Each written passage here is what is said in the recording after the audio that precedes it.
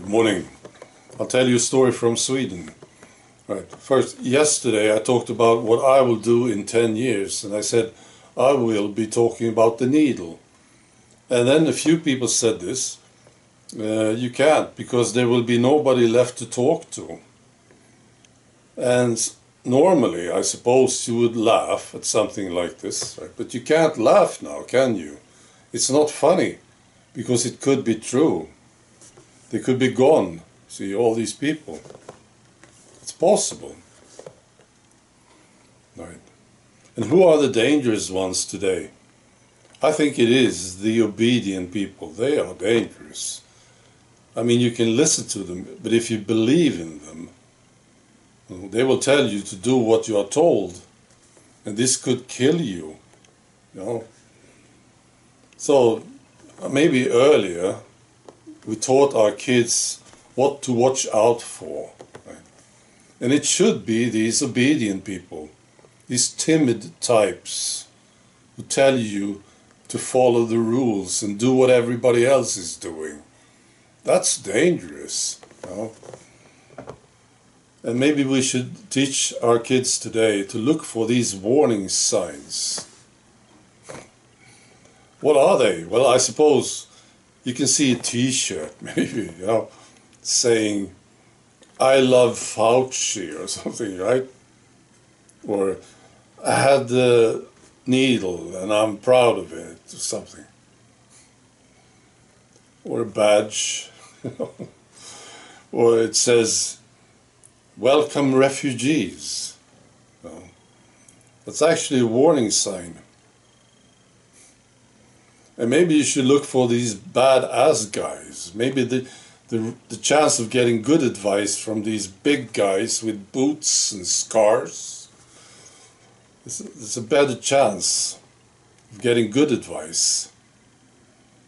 Maybe.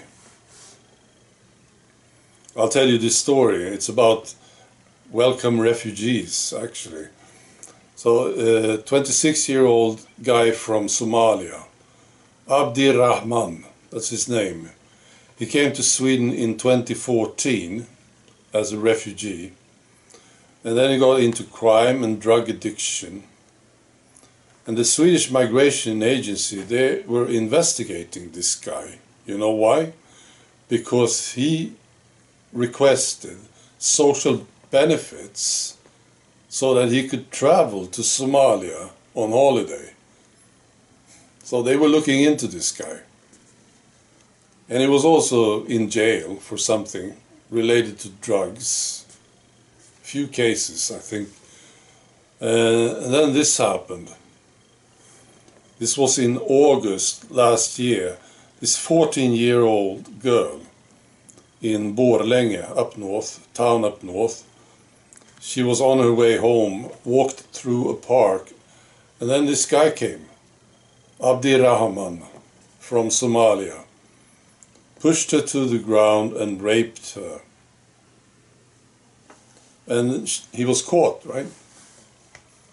And in the interrogation with the police, he said he thought he, she was fine with it, you know, being pushed to the ground, assaulted and raped. That's right. And he didn't understand that she was a minor so he was sentenced to four years in prison and he will get out in three years, I think. Oh.